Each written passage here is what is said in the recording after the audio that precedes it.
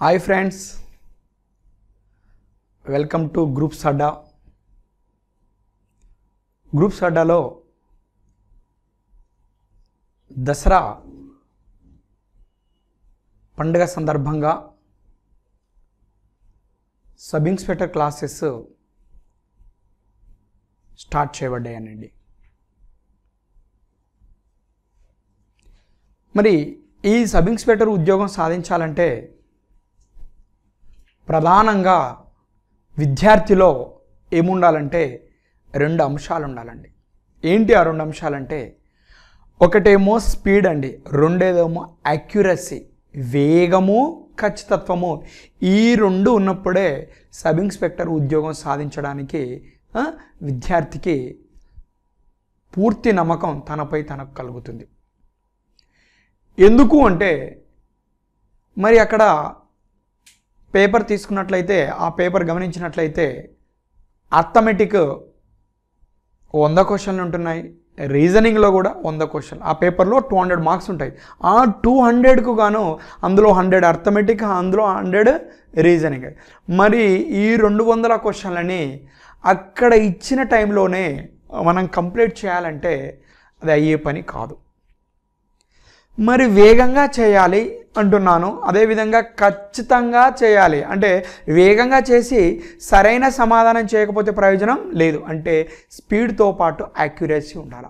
మరి ఈ speed and accuracy ఈ వేగము ఖచ్చితత్వము మనలో డెవలప్ కావాలి. అంటే విద్యార్థులు డెవలప్ కావాలంటే ప్రధానంగా విద్యార్థులు చేయాల్సింది ఏంటంటే చాప్టర్ వైజ్గా కొన్ని టేబుల్స్ని తయారు చేసుకోవాలా.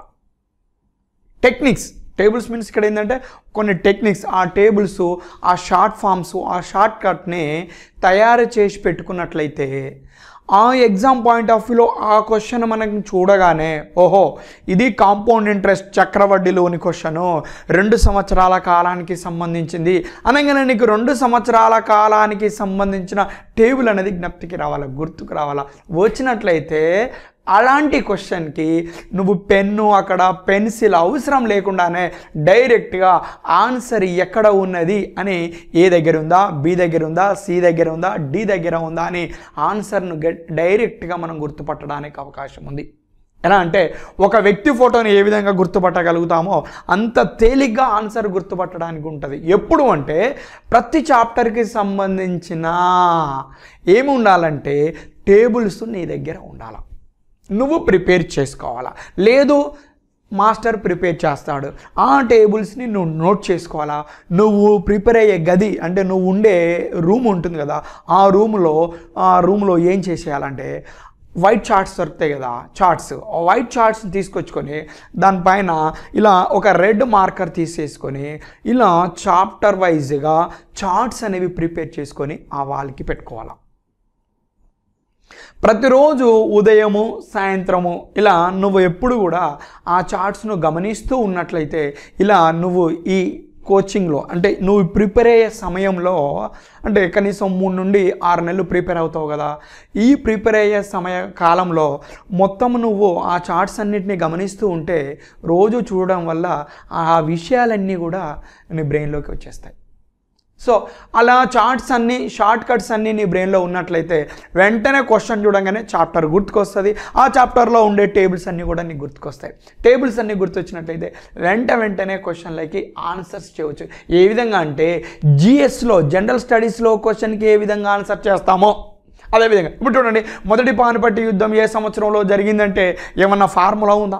డైరెక్ట్గా వస్తే వచ్చింది లేకపోతే లేదు. ఎక్కడ పదిహేను వందల ఇరవై ఆరు ఉందో చూస్తావు. పదిహేను వందల ఇరవై ఆరు సమాధానంగా చేస్తావు. అగో అంతే తేలిగ్గా నువ్వు అర్థమెటిక్లో క్వశ్చన్స్ని కూడా చెయ్యాలి అంటే ఖచ్చితంగా నీ దగ్గర టేబుల్స్ ఉండాలా?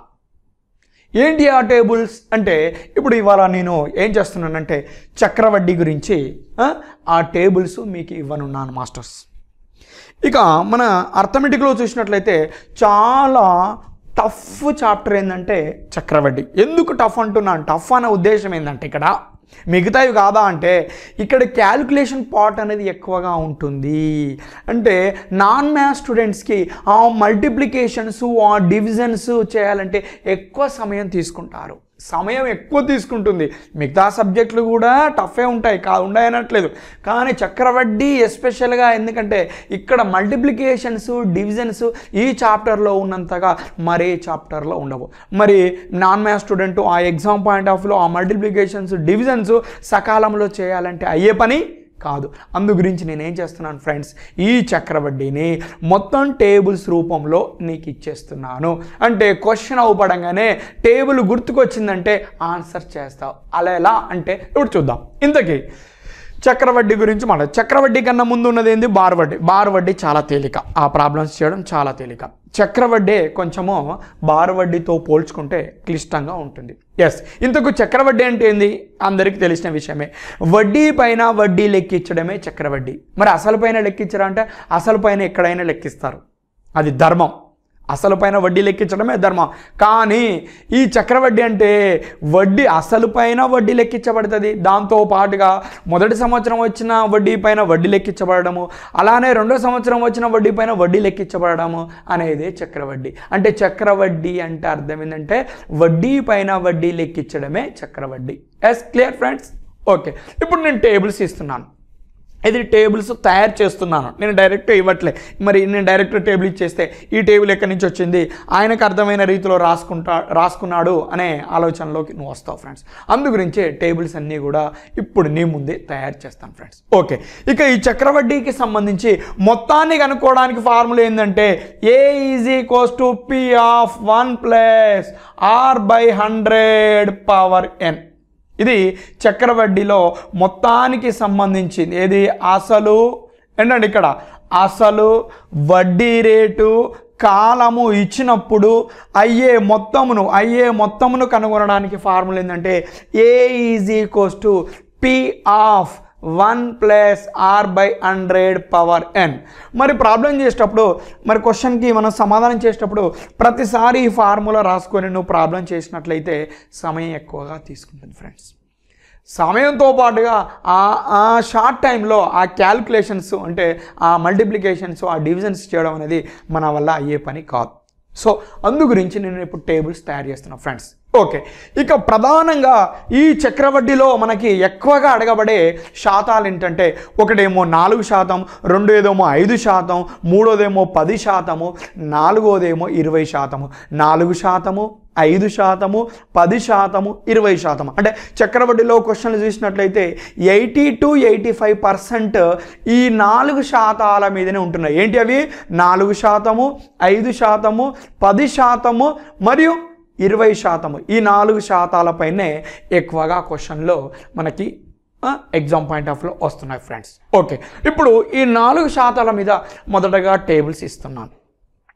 తయారు చేస్తున్నాను. ఓకే ఫస్ట్ నాలుగు శాతం మీద ఒక సంవత్సరానికి ఏమవుతుంది?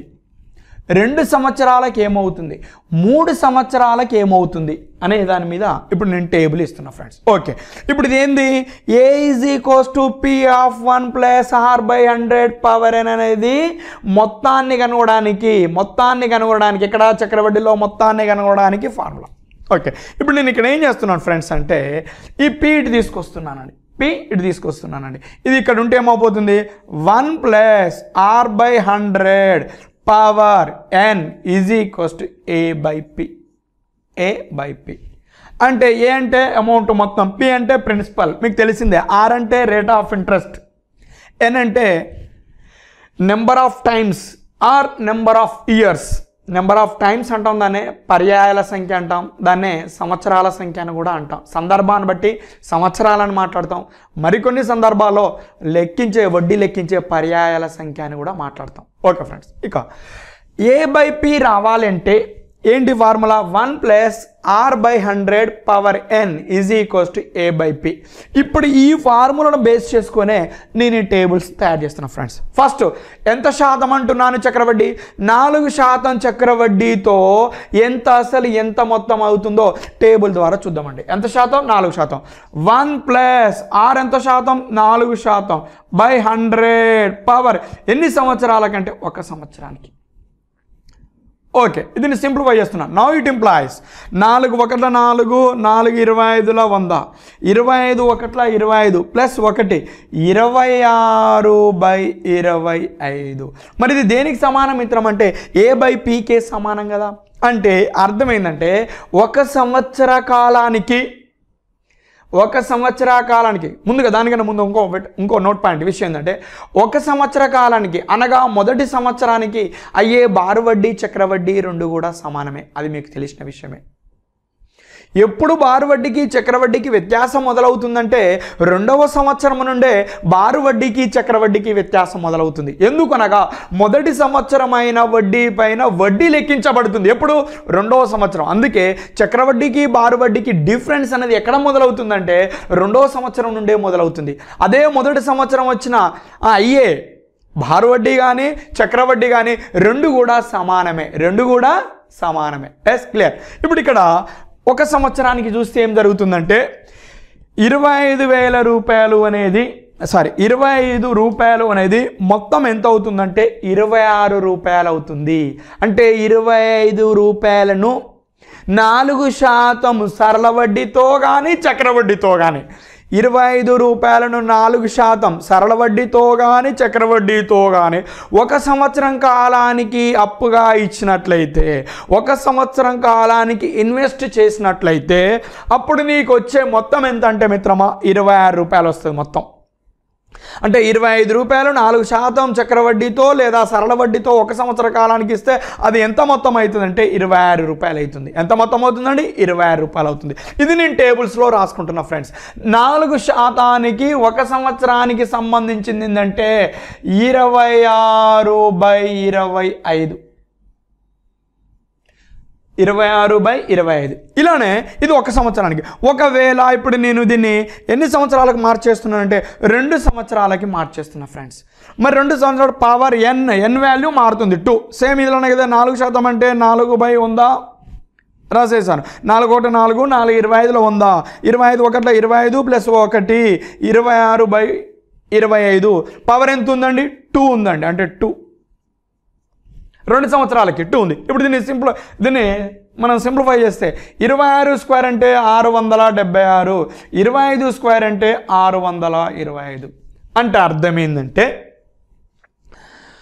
రెండు సంవత్సరాల కాలానికి నాలుగు శాతం చక్రవడ్డీతో రెండు సంవత్సరాల కాలానికి నాలుగు శాతం చక్రవడ్డీతో ఆరు వందల ఇరవై ఐదు రూపాయలని నువ్వు పెట్టుబడిగా పెట్టినట్లయితే రెండు సంవత్సరాల తర్వాత అది ఎంత మొత్తం అవుతుందంటే ఆరు వందల డెబ్బై ఆరు రూపాయలుగా అవుతుంది. క్లియర్? ఇప్పుడు ఇక్కడ మన టేబుల్లో రాసేసుకుంటున్నాం ఫ్రెండ్స్. టేబుల్లో ఏంటిదంటే ఆరు వందల ఇరవై ఐదు రూపాయలు మొత్తము ఆరు వందల డెబ్బై ఆరు రూపాయలుగా అవుతుంది. అది రెండు సంవత్సరాలు. మరి మూడు సంవత్సరాలంటే ఏమవుతుంది? పవర్ త్రీ అండి. ఏం లేదండి పవర్ త్రీ మూడు సంవత్సరాలకి. అంటే ఇరవై ఆరు క్యూబ్ పదిహేడు వేల ఐదు వందల డెబ్బై ఆరు. ఇరవై ఐదు క్యూబ్ పదిహేను వేల ఆరు వందల ఇరవై ఐదు. పదిహేడు వేల ఐదు వందల డెబ్బై ఆరు పదిహేను వేల ఆరు వందల ఇరవై ఐదు. దీన్ని మళ్ళీ నేను ఇప్పుడు మన టేబుల్లో రాసి పెట్టుకుంటున్నానండి.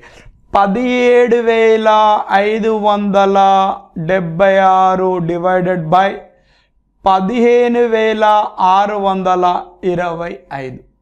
ఎస్ నాలుగు శాతంతో ఇలా మూడు సంవత్సరాల వరకు నేను ఎంత అసలు ఎంత మొత్తం అవుతుందో టేబుల్ ద్వారా చూపించానండి. ఇప్పుడు ఎక్కడికి వెళ్తున్నానంటే ఐదు శాతం మీదకి వెళ్తున్నానండి. ఐదు శాతం మీదకి వెళ్తున్నా. సబ్స్టిట్యూట్ ఐదు శాతంతో.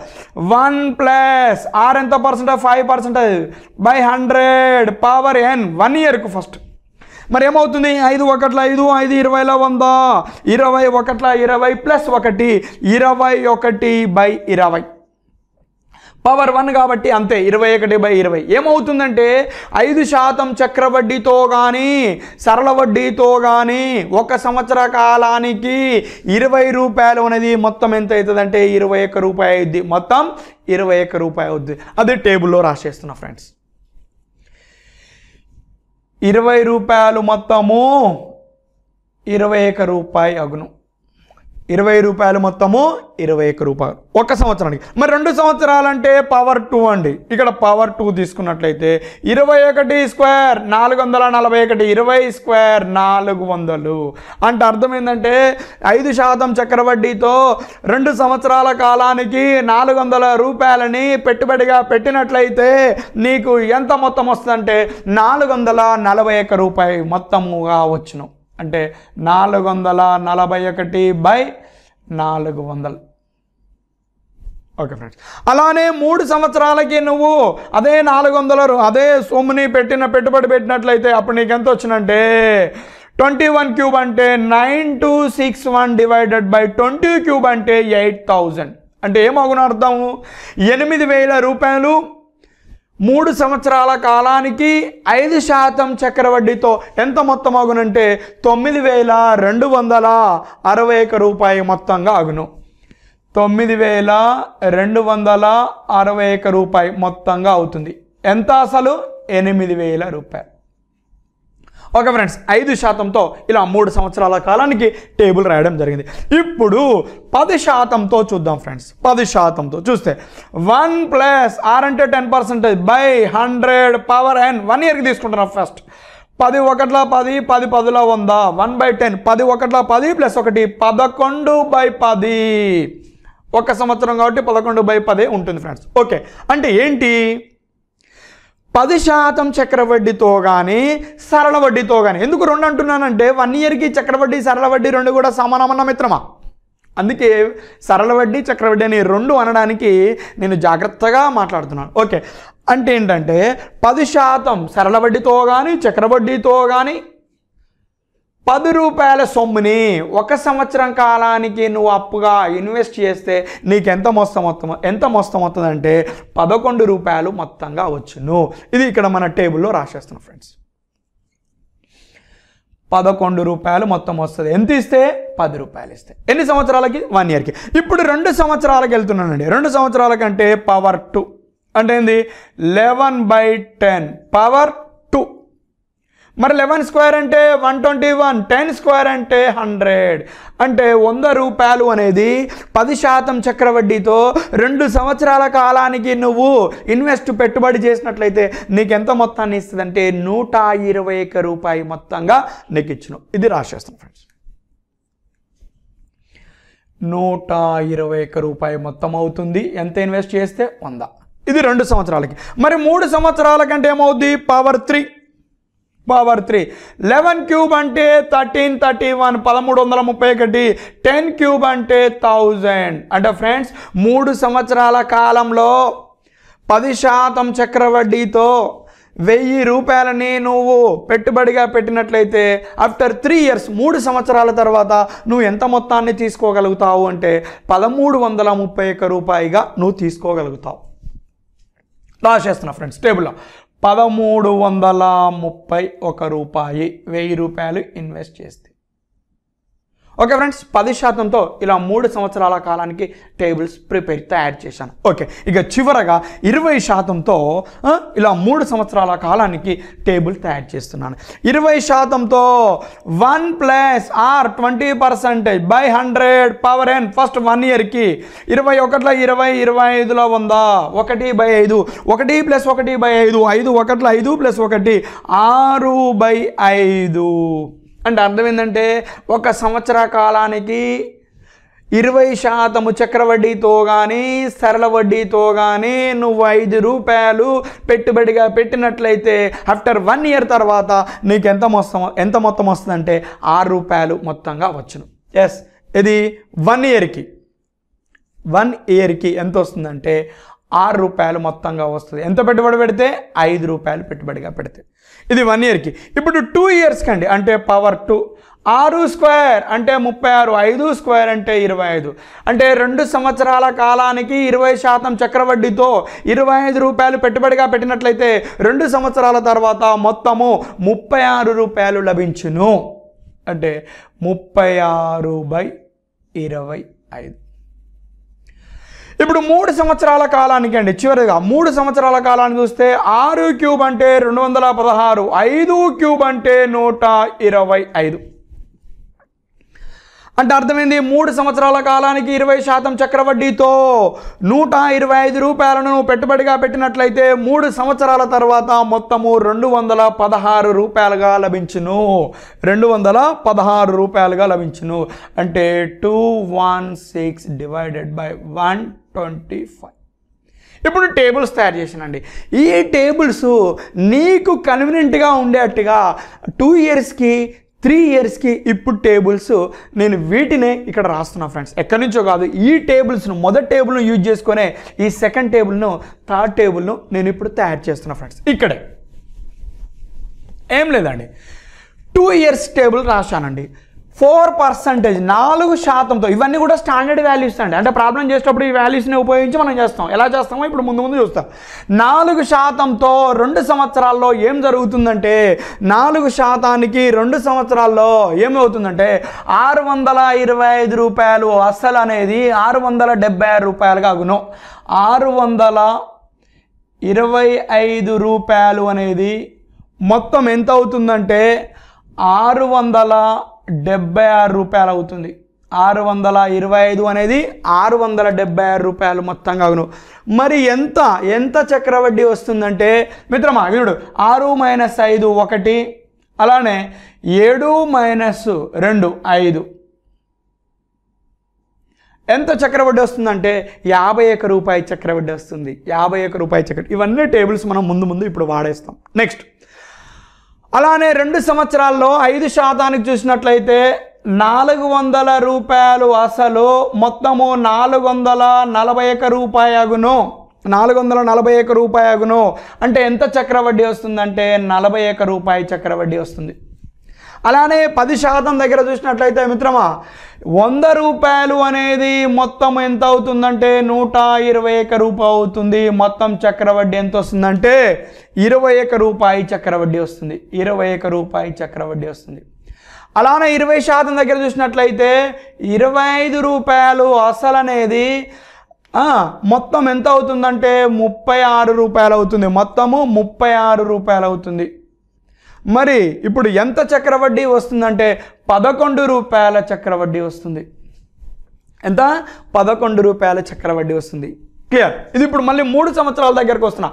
మరి మూడు సంవత్సరాలలో మూడు సంవత్సరాలు అంటే ఈ- ఈ లైన్ అండి. మూడు సంవత్సరాల్లో నాలుగు శాతం అనే దగ్గర ఎంత అసలు ఎంత మొత్తం అవుతుంది? ఎంత చక్రవడ్డీ అవుతుంది అంటే మూడు సంవత్సరాల్లో పదిహేను వేల ఆరు వందల ఇరవై ఐదు రూపాయలు అనేది ఎంత మొత్తం అవుతుందంటే పదిహేడు వేల ఐదు వందల డెబ్బై ఆరుగా మొత్తం కాగును పదిహేడు వేల ఐదు వందల డెబ్బై ఆరు నుంచి పదిహేను వేల ఆరు వందల ఇరవై ఐదు తీసేస్తే వచ్చే చక్రవడ్డీ ఎంత అంటే పంతొమ్మిది వందల యాభై ఒక రూపాయి చక్రవడ్డీ వచ్చును.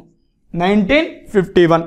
ఇది ఫోర్ పర్సెంట్. మరి ఫైవ్ పర్సెంటేజ్ తీసుకున్నట్లయితే ఐదు శాతం ప్రకారం మూడు సంవత్సరాల్లో ఏం జరుగుద్దంటే ఎనిమిది వేల రూపాయలు అనేది మొత్తము తొమ్మిది వేల రెండు వందల అరవై ఒక్క రూపాయిగా అగును దీని మీద ఎంత చక్రవడ్డీ వస్తుందంటే పన్నెండు వందల అరవై ఒక్క రూపాయి చక్రవడ్డీ లభించును.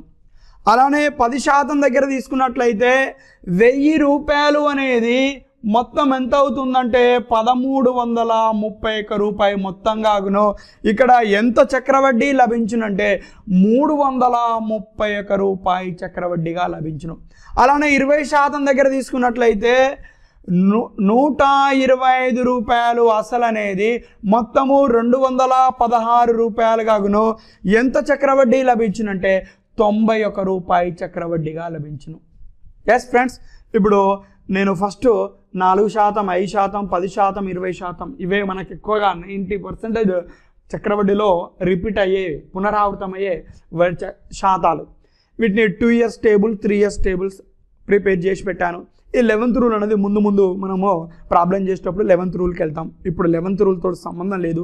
మొదటగా ఇప్పుడు ఇక్కడ ఉన్న two years table three years table తోటే ప్రాబ్లమ్స్ అన్నీ కూడా నేను చేపిస్తాను. మీరు మీరు చేయాల్సిందల్లా ప్రధానంగా ఈ త్రీ టేబుల్స్ని మీరు ఎక్కడైనా నా ఒక చార్ట్ పైన రాసి పెట్టుకొని ఇలా మూడు నాలుగు రోజులు నువ్వు గట్టిగా నువ్వు చూసినట్టయితే ఈ అంశాలు ఇక్కడ ఉన్న విషయాలన్నీ కూడా నీకు లైఫ్ టైం గుర్తుండిపోయే అవకాశం ఉంటుంది ఫ్రెండ్స్ ఓకే క్లియర్ ఇప్పుడు ప్రాబ్లం చేద్దాం. ఇప్పుడు చక్రవడ్డీకి సంబంధించి విత్ టేబుల్స్ తోటే డైరెక్ట్గా ప్రాబ్లం చేద్దాం. ఫస్ట్ క్వశ్చన్ రాస్తున్నాం ఫ్రెండ్స్ ఫస్ట్ క్వశ్చన్ రాస్తున్నాం. కొంత సొమ్ముని కొంత సొమ్ముని కొంత సొమ్ముని ఐదు శాతం ఐదు శాతం చక్రవడ్డీతో కొంత సొమ్ముని ఐదు శాతం చక్రవడ్డీతో పెట్టుబడి. పెట్టుబడి పెట్టగా రెండు సంవత్సరాల తర్వాత రెండు సంవత్సరాల తర్వాత రెండు సంవత్సరాల తర్వాత అది మొత్తం అది మొత్తం మూడు వేల ఐదు వందల ఇరవై ఎనిమిది రూపాయలుగా అది మొత్తం మూడు వేల ఐదు వందల ఇరవై ఎనిమిది రూపాయలు అయ్యాను. అయినా అయినా అసలు ఎంత?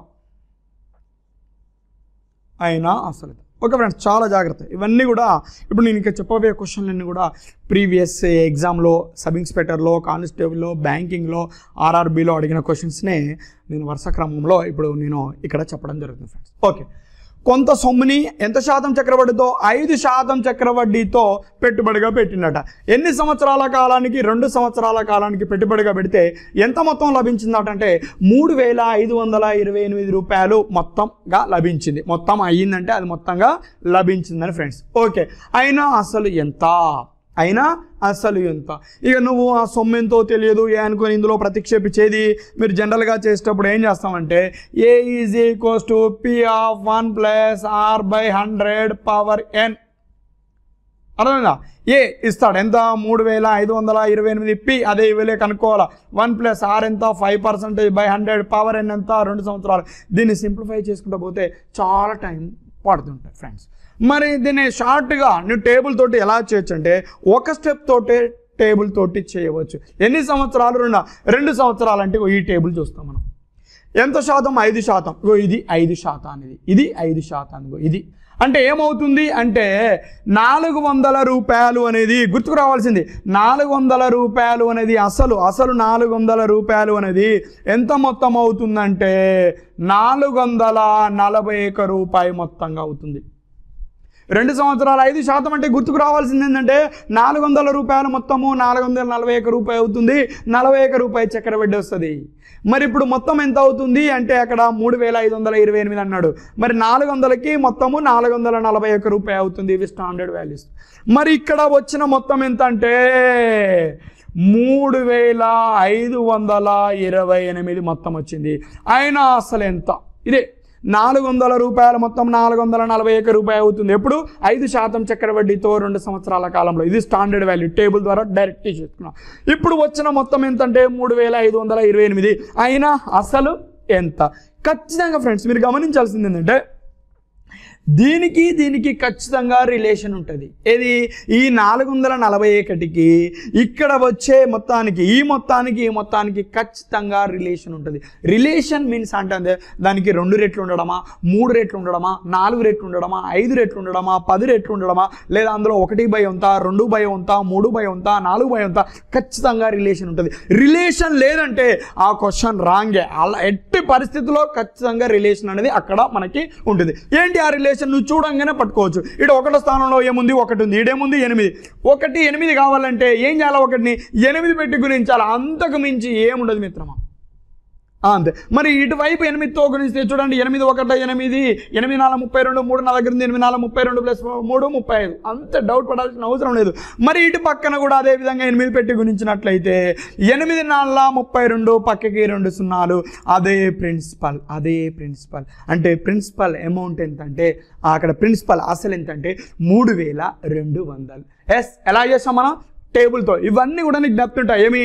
రెండు సంవత్సరాలు ఐదు శాతం అనగానే నీకు గుర్తుకొస్తుందండి. మూడు నాలుగు రోజులు సరిగ్గా ప్రిపేర్ అయినట్టయితే నాలుగు వందల రూపాయలు. మొత్తము నాలుగు వందల నలభై ఒక్క రూపాయి అవుతుంది. ఇక్కడ వచ్చిన మొత్తము మూడు వేల ఐదు వందల ఇరవై ఎనిమిది. అంటే నాలుగు వందల నలభై ఒకటి మూడు వేల ఐదు వందల ఇరవై ఎనిమిది మధ్య రిలేషన్ చూడంగానే ఆడ ఒకటి స్థానంలో ఒకటి ఉంది ఇక్కడ ఎనిమిది ఉంది ఒకటి ఎనిమిది కావాలంటే ఒకటిని ఎనిమిది పెట్టుకునిస్తే సరిపోద్ది అని ఒక థాట్ నీకు వచ్చేస్తుంది. అలానే ఈ నాలుగు వందల ఎనిమిది పెట్టుకునిస్తే ఎనిమిది నాలుగు ముప్పై రెండు మూడు వేల రెండు వందలని విత్ ఇన్ సెకండ్లో నువ్వు ఆన్సర్ చేయడానికి అవకాశం ఉంది ఫ్రెండ్స్ ఓకే క్లియర్ నెక్స్ట్ రెండవ క్వశ్చన్కి వెళ్తున్నాం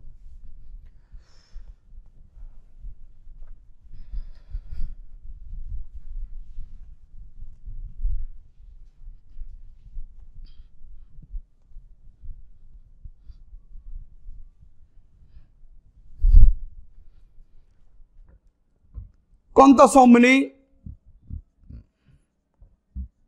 కొంత సొమ్ముని నాలుగు శాతం చక్రవడ్డీతో నాలుగు శాతం చక్రవడ్డీతో పెట్టుబడిగా పెట్టగా పెట్టుబడిగా పెట్టగా పెట్టుబడి పెట్టగా రెండు సంవత్సరాల తర్వాత రెండు సంవత్సరాల తర్వాత ఆఫ్టర్ టూ ఇయర్స్ రెండు సంవత్సరాల తర్వాత దానిపై రెండు సంవత్సరాల తర్వాత దానిపై ఎనిమిది వందల పదహారు రూపాయల ఎనిమిది వందల పదహారు రూపాయల చక్రవడ్డీ ఎనిమిది వందల పదహారు రూపాయల చక్రవడ్డీ లభించను. అయినా అయినా అసలు ఎంత? అయినా అసలు ఎంత? ఓకే ఫ్రెండ్స్ ఏంటిది? నాలుగు శాతం రెండు సంవత్సరాలు. గుర్తుకు రావాలి వెంటనే టేబుల్. నాలుగు శాతము రెండు సంవత్సరాలు. నాలుగు శాతము రెండు సంవత్సరాలు. అంటే ఏమవుతుంది? ఆరు వందల ఇరవై ఐదు రూపాయలు మొత్తము ఆరు వందల డెబ్బై ఆరు రూపాయలుగా అగును. మొత్తము. కానీ ఇక్కడ మనని మనకి ఇక్కడ ఇచ్చింది ఏంటంటే చక్రవడ్డీ ఇచ్చిండు. చక్రవడ్డీ గుర్తుకు రావాలా? ఆరు వందల ఇరవై ఐదు రూపాయలు మొత్తం ఆరు వందల డెబ్బై ఆరు రూపాయలు అవుతుంది. మరి ఎంత చక్రవడ్డీ వస్తుందంటే? యాభై ఒక్క రూపాయి చక్రవడ్డీ వస్తుంది. అంటే ఏంటంటే రెండు సంవత్సరాలు నాలుగు శాతం అంటే ఇది స్టాండర్డ్ విలువ అండ్ స్టాండర్డ్ వాల్యూ అంటే ఏదది? ఇదే విలువ తీసుకుంటాం ఏమనంటే ఆరు వందల ఇరవై ఐదు రూపాయలపై ఎంత చక్రవడ్డీ వస్తుంది? నాలుగు శాతంతో రెండు సంవత్సరాల కాలంలో అంటే యాభై ఒక్క రూపాయి చక్రవడ్డీ వస్తుంది. మరి ఇక్కడ లభించిన చక్రవడ్డీ ఎంత అంటే ఎనిమిది వందల పదహారు రూపాయల చక్రవడ్డీ లభించింది. ఎనిమిది వందల పదహారు రూపాయల చక్రవడ్డీ లభించింది. ఇప్పుడు ఆరు వందల ఇరవై ఐదు రూపాయల పైన ఎంత చక్రవడ్డీ వస్తుందంటే యాభై ఒక్క రూపాయి చక్రవడ్డీ వస్తుంది. ఎందుకంటే రెండు సంవత్సరాల టేబుల్లో మనము నాలుగు శాతం దగ్గర చూడవచ్చు ఆరు వందల ఇరవై ఐదు అనేది మొత్తము ఆరు వందల డెబ్బై ఆరు రూపాయలు అవుతుంది యాభై ఒక్క రూపాయి చక్రవడ్డీ వస్తుంది. అంటే ఆరు వందల ఇరవై ఐదుకి యాభై ఒక్క రూపాయి చక్రవడ్డీ వచ్చింది. ఎస్ ఇప్పుడు ఎంత అసలుకి ఎనిమిది వందల పదహారు రూపాయల చక్రవడ్డీ వచ్చును అని అడుగుతున్నాడు. అసలు ఎంతో అడుగుతున్నాడు. ఖచ్చితంగా ఈ యాభై ఒకటికి ఈ ఎనిమిది వందల పదహారుకి రిలేషన్ ఖచ్చితంగా రిలేషన్ ఉంటుంది. ఏంటి రిలేషన్ చూసినట్లయితే ఒకటి ఏమైంది పదహారు అయింది ఒకటి ఏమైందండి పదహారు అయింది ఒక పదహారు పదహారు సచ్చినట్టుగా ఉంటుందండి. పదహారు ఒకట పదహారు? ఒకటి నా దగ్గర ఉంది పదహారు ఐదులు ఎనభై ప్లస్ ఒకటి ఎనభై ఒకటి. అంటే ఎనిమిది వందల పదహారు. అంటే యాభై ఒకటికి ఎన్ని రెట్లుంది? పదహారు రెట్లుంది. అలానే ఆరు వందల ఇరవై ఐదుకు పదహారు రెట్లు. ఆరు వందల ఇరవై ఐదుకి పదహారు రెట్లు అంటే ప్రిన్సిపల్ ఎంత అవుతుందంటే ఆరు వందల ఇరవై ఐదు ఇంటూ పదహారు అంటే టెన్ థౌజండ్ పదివేల రూపాయలండి. ప్రిన్సిపల్ ఎంత అండి పదివేల రూపాయలు. చూడండి ఎంత ఈజీగా ఎంత తేలిగ్గా చేశాము. క్లియర్ ఈ మోడల్లో మరొకటి నువ్వు గుర్తుంచుకోవాల్సింది ఏంటంటే ప్రధానంగా ఈ రెండు టేబుల్స్ని ప్రధానంగా నువ్వు గుర్తుంచుకుంటే సరిపోద్ది ఫ్రెండ్స్. ఈ రెండే రెండు టేబుల్స్ ఏది? ఇది టూ ఇయర్స్ ఇది three years two years three years ఈ రెండు టేబుల్ని నువ్వు ప్రధానంగా గుర్తుపెట్టుకోవాలి? ఓకే ఫ్రెండ్స్ ఈ మోడల్లో మరొకటండి పన్నెండు వందల రూపాయలపై లేదా పన్నెండు వందల రూపాయలని పన్నెండు వందల రూపాయలని రెండు సంవత్సరాల కాలానికి రెండు సంవత్సరాల కాలానికి రెండు సంవత్సరాల కాలానికి కొంత వడ్డీ రేటుతో కొంత వడ్డీ రేటుతో కొంత వడ్డీ రేటుతో పెట్టుబడిగా పెట్టగా పెట్టుబడి పెట్టగా పెట్టుబడి పెట్టగా. మొత్తం మొత్తం మూడు వేల పద సారీ పదమూడు వందల ఇరవై మూడు రూపాయలు అయ్యను. మొత్తం పదమూడు వందల ఇరవై మూడు రూపాయలు అయ్యను. ఏది? పన్నెండు వందల రూపాయలను రెండు సంవత్సరాల కాలానికి కొంత చక్రవడ్డీతో ఆ వడ్డీ రేటు కొంత చక్రవడ్డీతో అండి. కొంత చక్రవడ్డీతో పెట్టుబడిగా పెడితే ఎంత? వడ్డీ రేటు వి డోంట్ నో తెలియదు. అదే మనం అనుకోవాలి. కొంత చక్రవడ్డీతో పెట్టుబడిగా పెడితే మొత్తం ఎంత అయిందంటే పదమూడు వందల ఇరవై మూడు రూపాయలు మొత్తం అయిందట. ఇప్పుడు వడ్డీ రేట్ ఎంతో అడగకుండా ఇంకొంచెం డెప్త్ కాంపౌండ్ ఇంట్రెస్ట్లో డెప్త్ ఏమంటుండంటే ఏమంటున్నాడంటే అదే వడ్డీ రేటుతో అదే చక్రవడ్డీ ఇక్కడ ఉండే చక్రవడ్డీ ఎంతో అదే చక్రవడ్డీతో అదే చక్రవడ్డీతో అదే చక్రవడ్డీతో పదహారు వందల రూపాయలని పదహారు వందల రూపాయలని మూడు సంవత్సరాల కాలానికి మూడు సంవత్సరాల కాలానికి మూడు సంవత్సరాల కాలానికి పెట్టుబడిగా. పెట్టుబడిగా. మూడు సంవత్సరాల కాలానికి పెట్టుబడిగా పెడితే పెట్టుబడిగా పెడితే ఎంత మొత్తం అగును? పెట్టుబడిగా పెడితే ఎంత మొత్తం అగును? ఓకే ఫ్రెండ్స్ చూడ? ఇలా రెండు ఉన్నాయండి క్వశ్చన్స్ ఒకే క్వశ్చన్లో. ఏంటి రెండు అంటే ఫస్ట్ చక్రవడ్డీ ఎంతో తెలియదు ఫస్ట్ అక్కడ చక్రవడ్డీ అనేది మనం తెలుసుకోవాలి. రెండవది ఆ చక్రవడ్డీతో ఈ పదహారు వందల రూపాయలని మూడు సంవత్సరాల కాలానికి పెట్టుబడిగా పెడితే అయ్యే మొత్తం ఎంతో తెలుసుకోవాలి. రెండు అంశాలండి. ఇది డీటెయిల్గా చేస్తే ఐదు మార్కుల క్వశ్చన్. మరి డీటెయిల్గా చేస్తావు? నీకుంది ఓపిక. కానీ అక్కడ టైంకి ఓపిక లేదు. అంటే నువ్వు చేస్తున్నావు అనే నిదానంగా టైం అనేది జరగదు. దాని తన పని తాను చేసుకుంటూ పోతుంది. అంటే సకాలంలో నువ్వు సమాధానం చేయాలి అంటే ఆ డీటెయిల్డ్ మెథడ్ అనేది ఇక్కడ ఎట్టి పరిస్థితుల్లో పనికిరాదు ఫ్రెండ్స్. ఎస్ అందుకే మనకి ఏమున్నాయంటే టేబుల్స్ ఉన్నాయండి. టేబుల్స్. ఓకే ఇప్పుడు ఆడదు రెండు సంవత్సరాల కాలము అన్నాడు.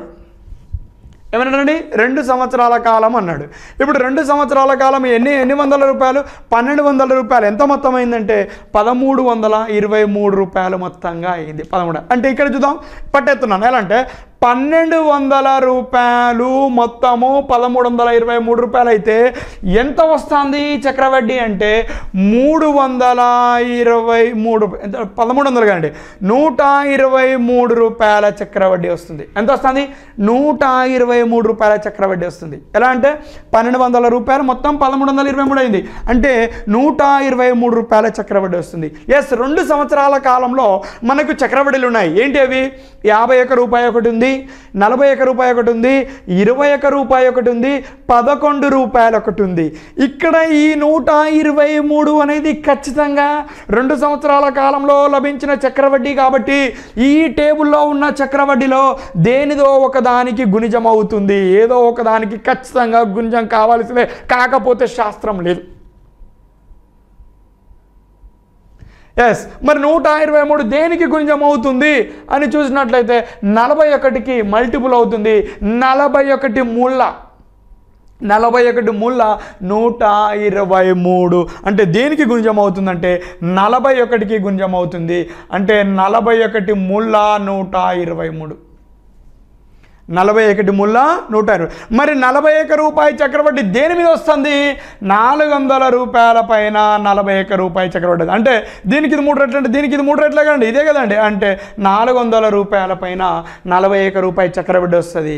అదేవిధంగా పన్నెండు వందల రూపాయల పైన అంటే నూట ఇరవై మూడు రూపాయల చక్రవడ్డీ వస్తుంది. మరి ఎంత వడ్డీ రేటుతో అదంటే ఐదు శాతం ఐదు శాతం చక్రవడ్డీతో అనేది మనకి ఇక్కడ డిసైడ్ అయిపోయింది ఫ్రెండ్స్. ఎస్ ఎలా గుర్తుపెట్టానంటే నూట ఇరవై మూడు రూపాయల చక్రవడ్డీ వచ్చింది. ఈ నూట ఇరవై మూడు అనేది యాభై ఒకటి కానీ నలభై ఒకటి కానీ ఇరవై ఒకటి కానీ పదకొండు కానీ ఈ నాలుగిట్లలో దేనికో ఒకదానికి ఖచ్చితంగా దేనికో ఒక్కదానికి మాత్రమే గుంజం అవుతుంది మరి దేనికి గుంజం అవుతుందంటే నలభై ఒకటికి మల్టిపుల్ నలభై ఒకటి మూల నూట ఇరవై మూడు. మరి నలభై ఒకటి అనే చక్రవడ్డీ ఎక్కడ వస్తుందంటే ఐదు శాతంతో ఐదు శాతం చక్రవడ్డీతో నలభై ఒక్క రూపాయి చక్రవడ్డీ అనేది సాధ్యమవుతుంది. అంటే వడ్డీ రేట్ అనేది మనకు తెలిసిపోయింది. ఎంత శాతం? ఐదు శాతం. క్లియర్.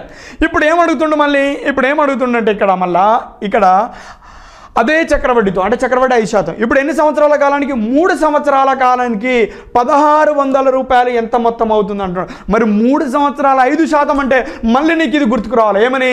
ఎనిమిది వేల రూపాయలు అనేది మొత్తము తొమ్మిది వేల రెండు వందల అరవై ఒక్క రూపాయి మొత్తంగా అవుతుంది. మూడు సంవత్సరాలు అనగానే మూడో సంవత్సరం టేబుల్ మీద నీ ఆలోచన. ఐదు శాతం అని మనం ఇక్కడ డిక్లేర్ చేసుకున్నాం. పర్సంటేజ్ ఇక్కడ ఫైవ్ పర్సెంట్ అని తెలిసిపోయింది మరి మూడు సంవత్సరాల కాలానికి ఐదు శాతం అంటే ఎనిమిది వేల రూపాయలు అసలు అనేది మొత్తం తొమ్మిది వేల రెండు వందల అరవై ఒక్క రూపాయగును. మరి ఇక్కడ మనకిచ్చిన అసలు ఎంత అంటే క్వశ్చన్లో పదహారు వందల రూపాయలు. మరి పదహారు వందల రూపాయలు ఎంత మొత్తము అగును?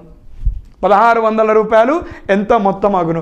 మరి ఎన్ని టైమ్స్ ఉన్నది ఇక్కడ నువ్వు పట్టుకోవాలి? దీనికి రిలేషన్ ఖచ్చితంగా రిలేషన్ ఉంటుంది. మరి ఎన్నిసార్లు రిలేషన్ ఉన్నది దీనికి?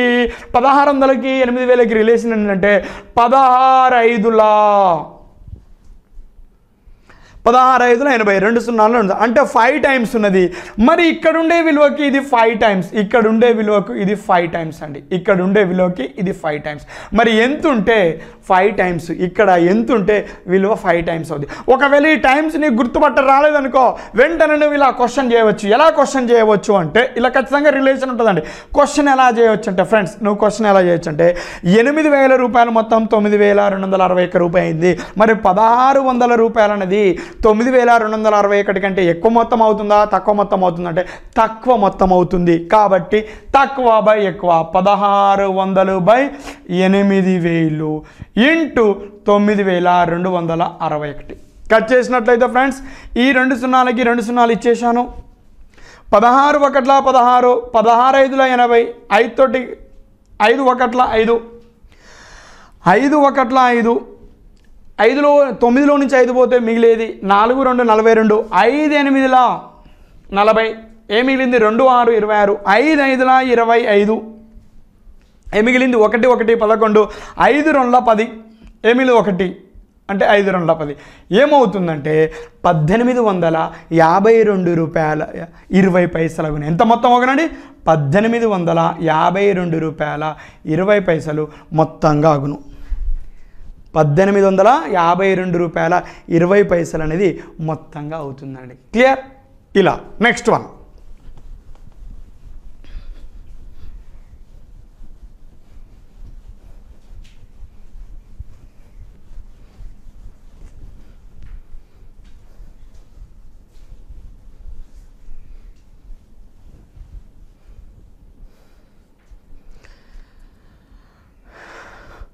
కొంత అసలు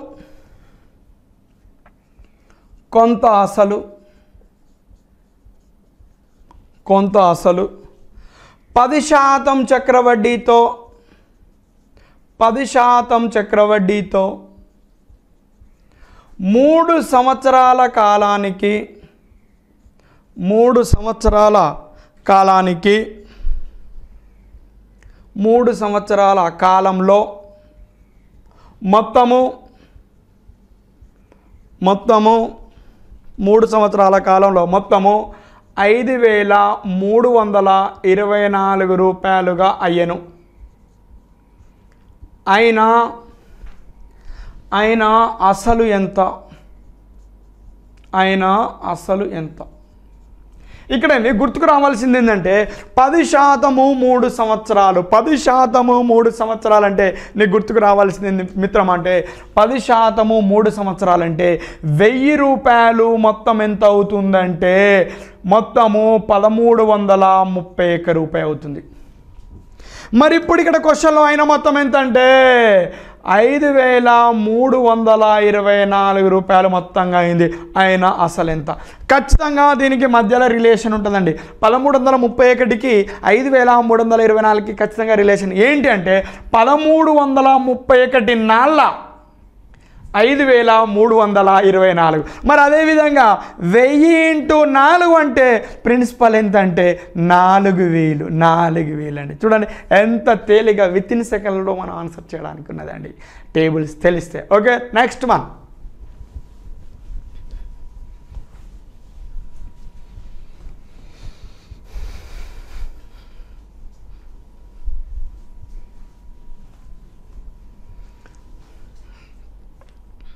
ఎంత అసలు?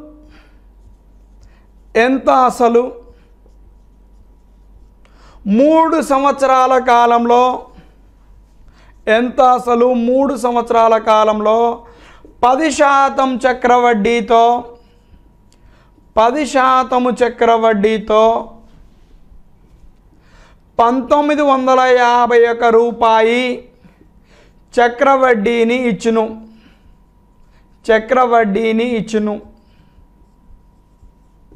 ఇవన్నీ కూడా ప్రీవియస్ క్వశ్చన్స్ అండి. చూడండి ఎంత అసలు మూడు సంవత్సరాల కాలంలో పది శాతము చక్రవడ్డీతో ఎంత చక్రవడ్డీ అట? పంతొమ్మిది వందల యాభై ఒక్క రూపాయి చక్రవడ్డీని ఇచ్చును. ఎంత అసలు అంటున్నాడు. మరి మూడు సంవత్సరాల కాలము పది శాతము అనగానే మనకు గుర్తుకు రావాల్సిన టేబుల్ ఏంటంటే ఇక్కడ ఉన్నది ఏదండి పది శాతము అనగానే ఇక్కడ మనకు గుర్తుకు రావాల్సింది ఇక్కడ ఉందండి. వినండి మూడు సంవత్సరాల కాలంలో పది శాతం చక్రవడ్డీతో ఎంత చక్రవడ్డీ? పంతొమ్మిది వందల యాభై ఒక్క రూపాయి చక్రవడ్డీ లభించిన మూడు సంవత్సరాల కాలము పది శాతం చక్రవడ్డీతో పంతొమ్మిది వందల యాభై ఒక్క రూపాయి చక్రవడ్డీ ఇచ్చిన అంటున్నాడు. మరి మూడు సంవత్సరాల కాలంలో అంటే మనకు ఇక్కడ రావాల్సింది ఏంటంటే మూడు సంవత్సరాల కాలంలో పది శాతం అంటే వెయ్యి ఏమవుతుందంటే పదమూడు వందల ముప్పై ఒక్క రూపాయి అవుతుంది. పదమూడు వందల. మరి ఏమవుతుంది? మూడు వందల ముప్పై ఒక్క రూపాయి అవుతుందండి. అంటే వెయ్యి రూపాయలు అనేది మొత్తం పదమూడు వందల ముప్పై ఒకటి అవుతుందంటే మూడు వందల ముప్పై ఒక్క రూపాయి అవుతుందండి. మొత్తం పదమూడు వందల ముప్పై ఒకటి అవుతుంది దాని మీద వచ్చే వడ్డీ ఎంత? మూడు వందల ముప్పై ఒక్క రూపాయి చక్రవడ్డీ. ఇప్పుడు మనకి ఇక్కడ లభించిన చక్రవడ్డీ ఎంత అంటే పంతొమ్మిది వందల యాభై ఒక్క రూపాయి చక్రవడ్డీ లభించింది. అయినా అసలు ఎంత? ఎస్ వచ్చేది ఎక్కువ తక్కువ అంటే ఎక్కువ. ఏందండి? ఎక్కువ. ఇలా చూసినట్లయితే దీనికి రిలేషన్. నువ్వు పదకొండు తీసుకున్నట్లయితే రిలేషన్ సరిపోద్ది. లేదు అంటే నువ్వు అడగవచ్చు వెయ్యి రూపాయలకి మూడు వందల ముప్పై ఒకటి చక్రవడ్డీ వస్తే పంతొమ్మిది వందల యాభై ఒకటికి వచ్చే అసలు ఎక్కువ తక్కువ అంటే ఎక్కువ. పంతొమ్మిది వందల యాభై ఒకటి బై మూడు వందల ముప్పై ఒకటి ఇంటూ హన్ థౌజండ్. చేసినట్లయితే ఇప్పుడు మూడు వందల ముప్పై ఒకటితోటి పంతొమ్మిది వందల యాభై ఒకటికి రిలేషన్. ఎన్నిసార్లు వస్తుంది ఫ్రెండ్స్? అంటే ఆరు సార్లు తీసుకున్నట్లయితే ఆరు మూలు పద్దెనిమిది ఆరు ఒకట్ల ఆరు. ఇక్కడ క్వశ్చన్లో చక్రవడ్డీ అనేది పర్సంటేజ్ ఫైవ్ పర్సంటేజ్ పడాలి ఫ్రెండ్స్? సారీ. ఫోర్ పర్సంటేజ్ నాలుగు శాతం పడాలి. అందుకే వాల్యూ అనేది డైరెక్ట్ మ్యాచ్ అవ్వట్లేదు. ఎందుకంటే క్వశ్చన్ ఇక్కడ చూడండి ఎంత అసలు మూడు సంవత్సరాల కాలంలో నాలుగు శాతం చక్రవడ్డీతో మొత్తం పంతొమ్మిది వందల యాభై ఒక రూపాయి చక్రవడ్డీని ఇచ్చును? మరి నాలుగు శాతం అంటే మనకు టేబుల్లో గుర్తుకు రావాల్సింది ఏంటంటే పదిహేను వేల ఆరు వందల ఇరవై ఐదు రూపాయలు. మొత్తము పదిహేడు వందల ఐదు వందల డెబ్బై ఆరు రూపాయలు కాగును మరి ఎంత చక్రవడ్డీ? ఎంత చక్రవడ్డీ లభించును అంటే పంతొమ్మిది వందల యాభై ఒక్క రూపాయి చక్రవడ్డీ లభించును. చూడండి డైరెక్ట్గా మన టేబుల్ మీద క్వశ్చన్ అయ్యిగా నువ్వు చేయాల్సిన అవసరం లేదు. పంతొమ్మిది వందల యాభై ఒకటి అంటే నీకు గుర్తుకు రావాల్సింది డైరెక్ట్గా ఓ పదిహేను వందల ఇరవై ఐదు రూపాయలు అసలు అనేది మొత్తము పదిహేడు వందల యాభై ఆరు రూపాయలు కాగును వచ్చే చక్రవడ్డీ ఎంతంటే పంతొమ్మిది వందల యాభై ఒక్క రూపాయలు. మరి అసలు ఎంత అండి? పదిహేను వేల ఆరు వందల రూపాయలు అనేది ఈ అసలు పైన నాలుగు శాతం చక్రవడ్డీతో ఎంత చక్రవడ్డీ లభించిన మూడు సంవత్సరాల కాలంలో అంటే పంతొమ్మిది వందల యాభై ఒక్క రూపాయి చక్రవడ్డీ లభించును. పంతొమ్మిది వందల యాభై ఒకటి రాగానే గుర్తుకు రావచ్చు ఏమని పదిహేను వందల ఇరవై ఐదు రూపాయలు అనేది మొత్తము పదిహేడు వేల ఐదు వందల డెబ్బై ఆరు. ఏంటండి పదిహేను వేల ఆరు వందల ఇరవై ఐదు అనేది మొత్తము పదిహేడు వేల ఐదు వందల డెబ్బై ఆరు రూపాయలు కను. అంటే వచ్చే చక్రవడ్డీ ఎంత అంటే పంతొమ్మిది వందల యాభై ఒక్క రూపాయల చక్రవడ్డీ. డైరెక్ట్ క్వశ్చన్ అనమాట టేబుల్ మీద క్వశ్చన్ ఇక మనం నువ్వు చేయాల్సిన అవసరం లేదు. నైన్టీన్ ఫిఫ్టీ వన్ అవుపడిందంటే ఖచ్చితంగా అది ఇదే. ఏమి? ఇది అంటే పదిహేను వేల ఆరు వందల ఇరవై ఐదు రూపాయలు అసలు అనేది మొత్తము పదిహేడు వేల ఐదు వందల డెబ్బై ఆరుగా అవుతుంది. వచ్చే చక్రవడ్డీ ఎంత అంటే పంతొమ్మిది వందల యాభై ఒకటి అండి. ఓకే ఫ్రెండ్స్ మరొకటి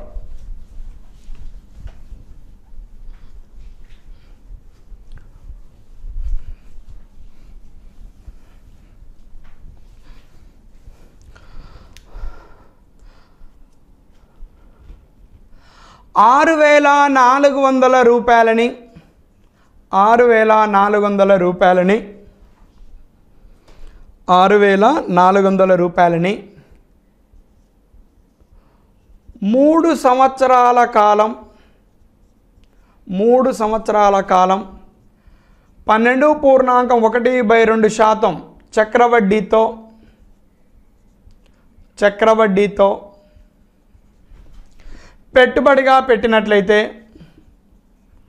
పెట్టుబడిగా పెట్టినట్లయితే పెట్టుబడిగా పెట్టినట్లయితే ఎంత చక్రవడ్డీ లభించును?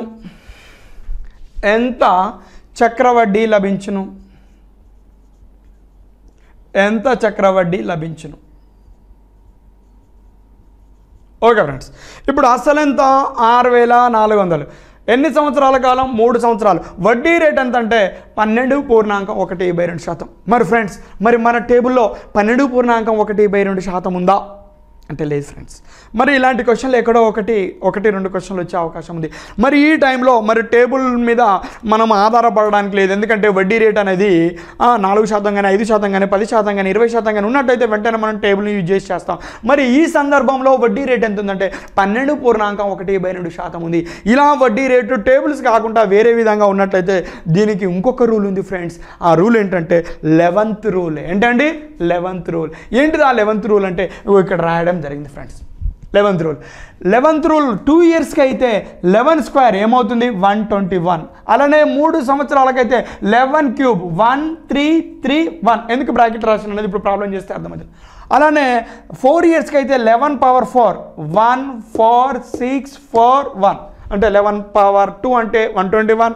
Eleven power three అంటే thirteen thirty one. Eleven power four అంటే one four six four one. Clear ఇప్పుడు ఇది ఎన్ని సంవత్సరాలు? మూడు సంవత్సరాలు. కాబట్టి ఏ రూల్ వాడతామంటే సొల్యూషన్లో లెవెన్ లెవెన్త్ రూల్ నేర్పించేస్తానండి లెవెన్ క్యూబ్ వాడతామండి. లెవెన్ క్యూబ్ లెవెన్ క్యూబ్ అంటే ఎంత value one three three one one three three one ఎలా చేస్తామనేది చూడాలండి. ఎప్పుడు కానీ ఇక్కడ ఉండే మొదటి విలువ అనేది ప్రిన్సిపల్ అండి. అసలు.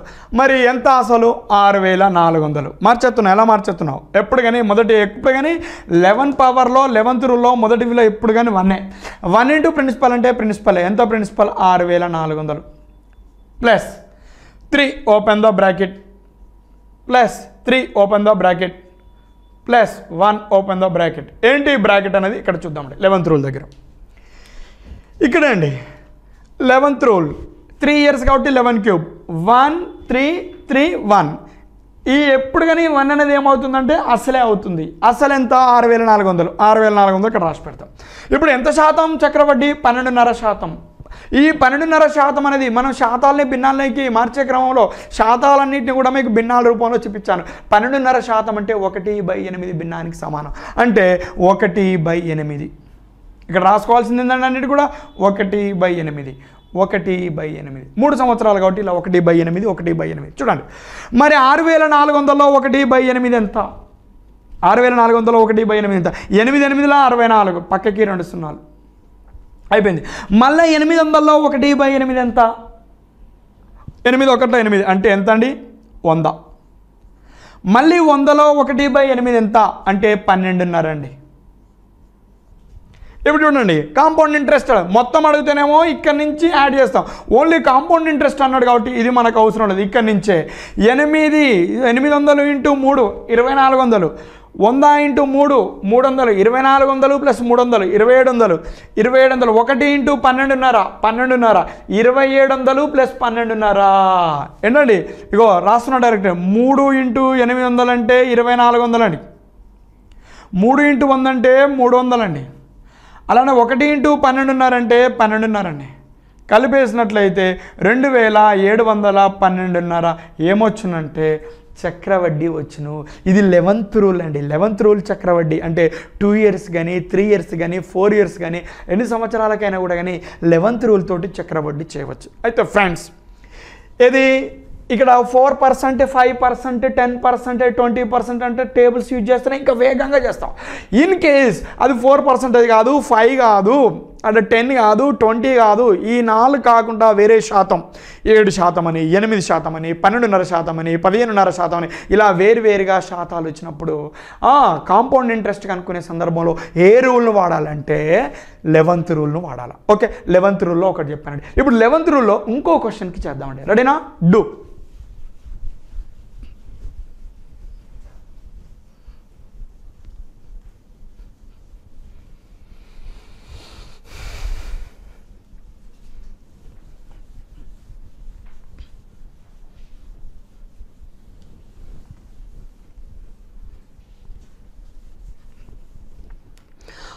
ఐదు వేల రూపాయలని ఫైవ్ థౌజండ్ అండి. ఐదు వేల రూపాయలని ఐదు వేల రూపాయలని తొమ్మిది శాతం చక్రవడ్డీతో తొమ్మిది శాతం చక్రవడ్డీతో రెండు సంవత్సరాల కాలానికి రెండు సంవత్సరాల కాలానికి పెట్టుబడిగా పెట్టినట్లయితే పెట్టుబడిగా పెట్టినట్లయితే పెట్టుబడిగా పెట్టినట్లయితే పెట్టుబడిగా పెట్టినట్లయితే వచ్చే చక్రవడ్డీ ఎంత? వచ్చే చక్రవడ్డీ ఎంత? ఓకే ఫ్రెండ్స్ ఇక్కడే. వచ్చే చక్రవడ్డీ ఎంత? ఇప్పుడు ఇది ఎన్ని సంవత్సరాలు? రెండు సంవత్సరాలు. ఈ తొమ్మిది శాతం అనేది మన టేబుల్లో లేదు కాబట్టి మనం లెవెన్త్ రూల్ని వాడేద్దాం. లెవెన్త్ రూల్ని వాడేద్దాం. ఇప్పుడు టూ టూ ఇయర్స్ కాబట్టి లెవెన్ స్క్వేర్ లెవెన్ స్క్వేర్ అంటే ఎంత? One twenty one one twenty one one plus two plus one ఇక్కడ అండి బ్రాకెట్ తయారు చేసేసుకుంటున్నా ఇక్కడ బ్రాకెట్ ఇక్కడ బ్రాకెట్ ఈ ఎప్పుడు కానీ ఈ మొదటి భాగం అనేది ఎప్పుడు కానీ ప్రిన్సిపలే ఎంత principal five thousand one into five thousand five thousand ఇప్పుడు ఎంత శాతము? తొమ్మిది శాతము. ఎంత అండి? తొమ్మిది శాతం. నైన్ పర్సంటేజ్ ఓకే అండి? నైన్ పర్సంటేజ్ నైన్ పర్సంటేజ్ ఇప్పుడు ఐదు వేల్లో తొమ్మిది శాతము ఎంత? ఐదు తొమ్మిది నలభై ఐదు. నాలుగు వందల యాభై రూపాయలు. ఓకే ఫ్రెండ్స్ ఐదు వేలల్లో తొమ్మిది శాతం అంటే ఐదు తొమ్మిది నలభై ఐదు నాలుగు వందల యాభై రూపాయలు. అలానే మళ్ళీ నాలుగు వందల యాభైలో తొమ్మిది శాతం అంటే నలభై రూపాయల యాభై పైసలు ఓన్లీ ఇప్పుడు ఏమడిగిండు మనను? చక్రవడ్డీ అడిగిండు. అంటే రెండు ఇంటూ నాలుగు వందల యాభై అంటే తొమ్మిది వందలు ఒక నలభై రూపాయల యాభై పైసలు అంటే ఒక నలభై రూపాయల యాభై పైసలే. అంటే తొమ్మిది వందలు ప్లస్ నలభై రూపాయల యాభై పైసలు అంటే తొమ్మిది వందల నలభై రూపాయల యాభై పైసల ఏమొచ్చినంటే చక్రవడ్డీ వచ్చింది. ఇక నువ్వు అదంతా ఫార్ములా వేయాల్సిన అంత అవసరం లేకుండా ఇలా లెవెంత్ రూల్తో ఏ చక్రవడ్డీ రేటు ఇచ్చినా కూడా కానీ అది రెండు సంవత్సరాలు కానివ్వండి మూడు సంవత్సరాలు కానివ్వండి నాలుగు సంవత్సరాలు కానివ్వండి నువ్వు ఇలా చేయవచ్చు. రెండు సంవత్సరాలు ఇస్తే లెవెన్ స్క్వేర్ ఏం రాయాలా నువ్వు? వన్ ప్లస్ ఈ వన్ ఎప్పుడు కూడా ఏమవుతుంది? ప్రిన్సిపల్ అసలు అవుతుంది two open the bracket plus one open the bracket ఇటు ఎంత శాతమో ఆ శాతమును ఈ అసలు పైన లెక్కిస్తే వచ్చేదాన్ని బ్రాకెట్లో రాయాలి. మళ్ళీ ఈ బ్రాకెట్లో అదే శాతం కాబట్టి ఆ ఈ బ్రాకెట్లో ఉండే విలువను ఆ శాతంతో లెక్కించక వచ్చేది ఇక్కడ రాయాలి. ఇప్పుడు రాసాం కదా ఇక్కడ ఎంత విలువ అసలు? ఐదు వేలు. దానిపైన ఎంత శాతం? తొమ్మిది శాతం. ఐదు వేలల్లో తొమ్మిది శాతం అంటే నాలుగు వందల యాభై రూపాయలు. మళ్ళీ ఈ నాలుగు వందల యాభైలో తొమ్మిది శాతం ఎంతంటే? నలభై రూపాయల యాభై పైసలు. ఇలా రాస్తూ పోవాలి. పోయిన తర్వాత ఓన్లీ చక్రవడ్డీ అడుగుతున్నాడు. మొత్తం అడిగితేనేమో ఇక్కడి నుంచి రాస్తాం. ఎలా మొత్తం అడిగితే ఐదు వేలు ప్లస్ రెండు ఇంటూ నాలుగు వందల యాభై తొమ్మిది వందలు ఇలా రాసేస్తాం. తొమ్మిది వందలు ప్లస్ ఒకటి ఇంటూ నలభై రూపాయల యాభై పైసలు అంటే ఒక నలభై రూపాయల యాభై పైసలు. ఏమోగును ఐదు వేల తొమ్మిది వందల నలభై రూపాయల యాభై పైసలు. ఇదేంటిది? మొత్తం. మరి మనం అడిగింది చక్రవడ్డే కాబట్టి ఈ ఐదు వేలని అక్కడ మనం కలపము. ఓన్లీ వడ్డీలను మాత్రం అంటే ఇక్కడి నుంచే తీసుకొని వడ్డీని చక్రవడ్డీని లెక్కిస్తాం. ఇలా లెవెన్త్ రూల్తో ఇది నాలుగు శాతం ఐదు శాతం పది శాతం ఇరవై శాతం వాటినైనా చేయొచ్చు. ఏ శాతానికైనా చేయవచ్చు కానీ నాలుగు శాతం ఐదు శాతం పది పది శాతం ఇరవై శాతము టేబుల్స్ ద్వారా చేస్తే లెవెన్త్ రూల్ కన్నా ఇంకా వేగంగా చేయడానికి అవకాశం ఉన్నది. ఎక్కువగా మనకు రిపీట్ అయ్యేది నాలుగు శాతం ఐదు శాతం పది శాతం ఇరవై శాతం. ఎక్కడో వన్ ఆర్ టూ పర్సంటేజ్ అప్పుడు శాతం అనేది అందులో కాకుండా ఇలా తొమ్మిది శాతం అని పన్నెండు పూర్ణాంక ఒకటి బై రెండు శాతం అని ఎనిమిది శాతం అని ఇలా శాతాల్ని మార్చడానికి జరుగుతుంది. ఒకటి రెండు అవకాశాలు ఒకటి రెండు క్వశ్చన్లు ఇలా ఈ ఈ ఈ శాతాలు కాక వేరే శాతం రావడానికి అవకాశం ఉంది ఫ్రెండ్స్ ఓకే నెక్స్ట్ వన్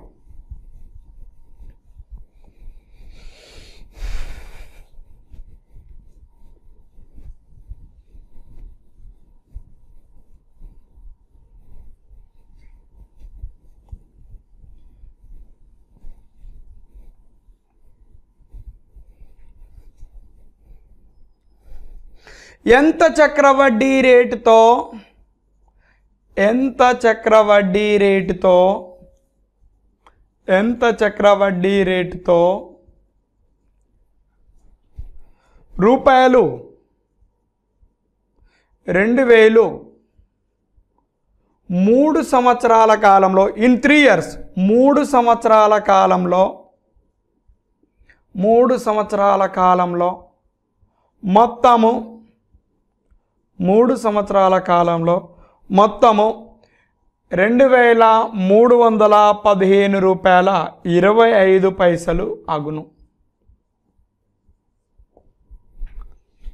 ఎంత చక్రవడ్డీతో రెండు వేల రూపాయలు అనేది పెట్టుబడిగాను పెట్టినట్లయితే అది మూడు సంవత్సరాల కాలంలో మొత్తము ఎంత అవుతుందటంటే మూడు రెండు వేల మూడు వందల పదిహేను రూపాయల ఇరవై ఐదు పైసలాగును. ఏంటిది కనుక్కోవాల్సింది? చక్రవడ్డీ రేట్ ఎంతో కనుక్కోవాలా? మూడు సంవత్సరాల కాలంలో అంత మొత్తం అయిద్దట. ఇప్పుడు చూద్దామంటే ఇదేంటిది? ప్రిన్సిపల్. ఇదేంటిది? అమౌంట్. ఇది ప్రిన్సిపాల్ ఇదేంటిది? అమౌంట్ ఇక డైరెక్ట్గా ఎలా అంటే ఏ బై పి రూపంలో రాయాలి. ఇలా నీకు అర్థం కానప్పుడు. అమౌంట్ ఎంత? రెండు వేల మూడు వందల పదిహేను రూపాయల ఇరవై ఐదు పైసలు. ప్రిన్సిపాల్ ఎంత? Two thousand okay. ఇక్కడ దశాంశ బిందు తర్వాత రెండు స్థానాలు ఉన్నాయి కాబట్టి లవాన్ని హారాన్ని వంద చేత గుణించేసా గుణించేస్తే అప్పుడు ఏమవుపోనంటే రెండు మూడు ఒకటి ఐదు రెండు ఐదు డివైడెడ్ బై వంద చేత గుణించినట్లయితే ఇది రెండు వేల పక్కకి మా ఇంకొక రెండు సున్నాలు వస్తుంది అప్పుడు కట్ చేసినట్లయితే ఇరవై తోటి ఇరవై ఐదు ఎనిమిదిల రెండు వందలు పక్కకి మూడు సున్నాలు. అంటే కింద ఎంత వచ్చింది ఫ్రెండ్స్ ఎనిమిది వేలు వచ్చింది. మరి అంత ఇక పైదాన్ని నువ్వు లెక్క చేయాల్సిన అంత అవసరమే లేదు. ఎనిమిది వేలు వచ్చిందంటే ఎక్కడ ఉన్నది అంటే అది ఐదు శాతం దగ్గర ఉన్నది. ఎక్కడ ఉంది? ఐదు శాతం దగ్గర. ఎనిమిది వేల రూపాయలు మొత్తము తొమ్మిది వేల రెండు వందల అరవై ఒక్క రూపాయి అవుతుంది. ఇరవై ఐదు తోటి దీన్ని క్యాన్సిల్ చేస్తే సచ్చినట్టుగా తొమ్మిది వేల రెండు వందల అరవై ఒక్క రూపాయి అవుతుంది. తొమ్మిది వేల రెండు వందల అరవై ఒక్క రూపాయి అవుతుంది. అందులో డౌటే లేదు. ఖచ్చితంగా రావాల్సిందే సచ్చినట్టుగా అప్పుడే శాస్త్రం కరెక్టు క్వశ్చన్లు కరెక్టు సమస్యలు కరెక్ట్ ఎస్ అంటే ఎనిమిది వేల రూపాయలు రాగానే నీకు గుర్తుకు రావాల్సింది ఏంటంటే ఓహో మూడు సంవత్సరాల కాలంలో ఐదు శాతంతో ఎనిమిది వేల రూపాయల మొత్తము తొమ్మిది వేల రెండు వందల అరవై ఒక్క రూపాయి అవుతుంది. అంటే ఎంత శాతంతో? ఐదు శాతంతో. కింద ఆప్షన్లలో ఎక్కడ ఐదు శాతం ఉందో ఆ ఐదు శాతాన్ని నువ్వు పట్టుకోవాలి ఫ్రెండ్స్ ఓకే ఫ్రెండ్స్ ఈ విధంగా మనం కాంపౌండ్ ఇంట్రెస్ట్లో ఎలాంటి క్వశ్చన్ వచ్చినా కూడా కానీ త్రూ టేబుల్స్ ద్వారా ఈ టేబుల్స్ ద్వారా సాధిస్తాం. ఇన్ కేస్ ఈ టేబుల్స్లో లేని శాతం ఏమన్నా ఉంటే ఉంటే ఆ శాతాన్ని ప్రత్యేకించి మన లెవెంత్ రూల్ పైన సాధిస్తాం. లెవెంత్ రూల్ పైన సాధిస్తాం. అలానే చక్రవడ్డీకి చక్రవడ్డీకి బార్వడ్డీకి రెండు సంవత్సరాల మధ్య భేదం కనుక్కోవడానికి ఫార్ములాస్ ఉన్నాయి. అది అందరికీ తెలిసిందే. మూడు సంవత్సరాల కాలానికి కనుక్కునేవి ఉన్నాయి. అది కూడా తెలిసిందే. నాలుగు సంవత్సరాల కాలాన్ని కూడా కనుక్కునేవి. అవి పెద్ద విషయం కాదు. రెండు సంవత్సరాలకి మూడు సంవత్సరాలకి నాలుగు సంవత్సరాలకి చక్రవడ్డీకి బారవడ్డీకి మధ్య చక్రవడ్డీకి బారవడ్డీకి మధ్య చక్రవడ్డీకి బారు మధ్య బారవడ్డీకి మధ్య భేదాలు కనుక్కోవడం అవి డైరెక్ట్గా ఫార్ములాస్ ఉన్నాయి. ఓకే చక్రవడ్డీలో బారవడ్డీకి చక్రవడ్డీకి సంబంధించింది మరొక విధంగా అడుగుతున్నాడండి. ఏంటిదంటే ఆ డీటెయిల్ మెథడ్ పోతే చాలా పెద్ద క్వశ్చన్ అవుతుందండి. ఏంటిది ఆ క్వశ్చన్ అడిగే విధానం అంటే కొంత అసలుపై కొంత అసలుపై. రెండు సంవత్సరాల రెండు సంవత్సరాల కాలంలో కొంత అసలుపై రెండు సంవత్సరాల కాలంలో కొంత వడ్డీ రేటుతో కొంత వడ్డీ రేటుతో కొంత వడ్డీ రేటుతో యాభై రెండు రూపాయల యాభై రెండు రూపాయల చక్రవడ్డీ కామ? యాభై రూపాయల యాభై రూపాయల బారు వడ్డీ లభించను. బారు వడ్డీ లభించను. బారు వడ్డీ లభించను. అయినా వడ్డీ రేటు ఎంత? అయినా వడ్డీ రేటు ఎంత? అయినా వడ్డీ రేటు ఎంత? ఎంత కాలానికి ఇలా రెండు సంవత్సరాల కాలంలో అని అంటాడండి మోడల్. చాలా చాలా ఇంపార్టెంట్. రెండు కొంత అసలుపై రెండు సంవత్సరాల కాలంలో కొంత వడ్డీ రేటుతో ఇదే మనం కనుక్కోవాల్సింది. దానిపైన యాభై రెండు రూపాయల చక్రవడ్డీ యాభై రూపాయల బార్ వడ్డీ లభించింది. అయినా వడ్డీ రేటు ఎంత? ఈ క్వశ్చన్ని డీటెయిల్గా చేస్తే ఐదు మార్కుల క్వశ్చన్ దగ్గర దగ్గర టూ మినిట్స్ రెండు నిమిషాల టైం తీసుకుంటుంది. మరి ఎగ్జామ్లో మనం క్వశ్చన్ చేయాలంటే ఖచ్చితంగా అక్కడ మనకి ఇవ్వబడిన సమయం ఏంటంటే ఫార్టీ ఫైవ్ సెకండ్స్ నలభై ఐదు సెకండ్ల కాలంలోనే క్వశ్చన్కి ఆన్సర్ చేయాలా? అది ఎక్కడ ఉందో అది బబ్లింగ్ చేయాలా? మరి ఇవన్నీ చేయాలంటే నీకు షార్ట్ మెథడ్స్ తెలియాల్సిందే. మరి ఇలాంటప్పుడు వడ్డీ రేటుకి ఫార్ములా ఏంటంటే R is ఈక్వస్ట్ rate percentage R is ఈక్వస్ట్ ఇలా రెండు సంవత్సరాల కాలానికి బార్ వడ్డీ చక్రవడ్డీ ఇచ్చి వడ్డీ రేటు ఎంత అడిగినప్పుడు R is equals to R percentage is equals to two into C minus S by S into hundred ఇది వడ్డీ rate. Two into C minus S divided by S. C అంటే కాంపౌండ్ ఇంట్రెస్ట్ ఎస్ అంటే simple interest. Two into compound interest fifty two. Simple interest fifty. Divided by simple interest fifty into hundred.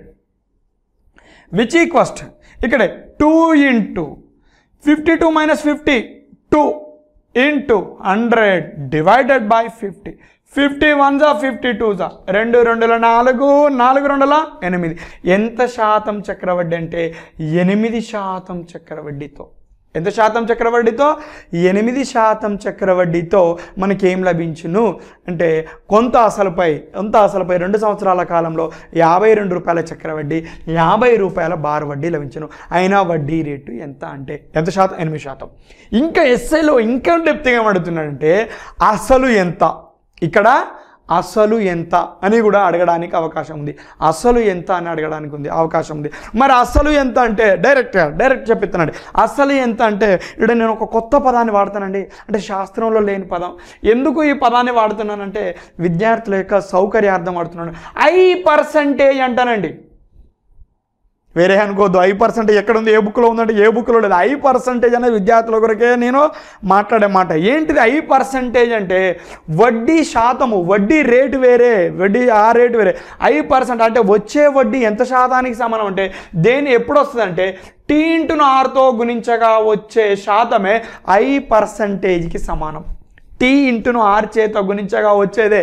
దేని శాతానికి సమానం అంటే I పర్సంటేజ్కి సమానం. I percentage సమానం.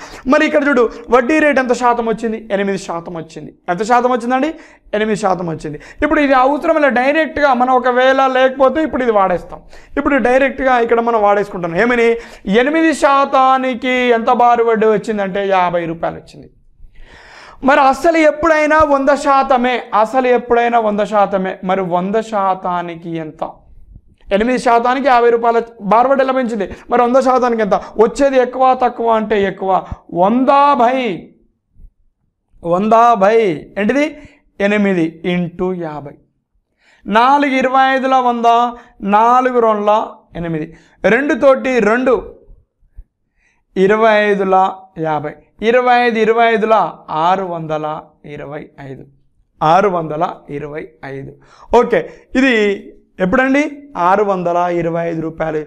ఇది ఒక సంవత్సర కాలానికా రెండు సంవత్సరాల కాలానికంటే వడ్డీ రేటు ఇక్కడ ఒక సంవత్సర కాలానికి ఎనిమిది శాతము. ఎనిమిది శాతం తీసుకుంటే ఎనిమిది శాతానికి వచ్చిన చక్కెర బార్ వడ్డీ యాభై రూపాయలు కాబట్టి ఎనిమిది శాతానికి యాభై అయితే వంద శాతానికి ఎంతంటే ఆరు వందల ఇరవై ఐదు రూపాయలు. ఓకే ఫ్రెండ్స్ ఈ విధంగా. నెక్స్ట్ వన్ అంటే ఏంటిది ఈ మోడల్లో? చక్రవడ్డీ బారు వడ్డీలు ఇచ్చి రెండు సంవత్సరాల కాలానికి చక్రవడ్డీ బారు వడ్డీలు ఇచ్చేసి వడ్డీ రేట్ అడిగినప్పుడు ఫార్ములా ఏంటంటే వడ్డీ రేట్ అడిగినప్పుడు డైరెక్ట్ ఫార్ములా ఏంటంటే R percentage is equals to two into C minus S by S into hundred C అంటే కాంపౌండ్ ఇంట్రెస్ట్ ఎస్ అంటే సింపుల్ ఇంట్రెస్ట్ మళ్ళీ ఎస్ అంటే సింపుల్ ఇంట్రెస్ట్ ఇంటూ హండ్రెడ్ ఇలా చక్రవడ్డీలో ఉండే ప్రతి ప్రాబ్లం కూడా త్రూ టేబుల్ ద్వారా మనం సాధిస్తాం ఫ్రెండ్స్ ఇంకా మిగిలిన చాలా మోడల్స్ ఉన్నాయి. అవన్నీ కూడా మన కంటిన్యూ క్లాసెస్లో అవన్నీ కూడా మనం నేర్చుకోవడం జరుగుద్ది friends okay all the best